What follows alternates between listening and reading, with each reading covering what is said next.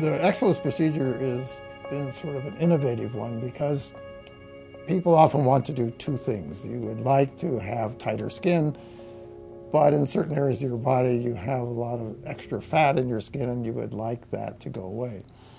And again, if one is looking for a non-invasive procedure, the Exilis procedure makes it so that the fat contents from the cell go out into your system and the body gets rid of them. So they actually turn like from grapes into raisins.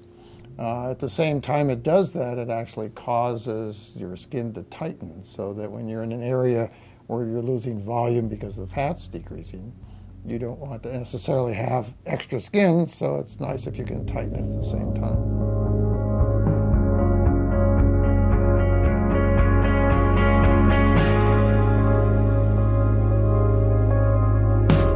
At the Asarch Center, we truly care for our patients and want to help you maintain the health of your skin.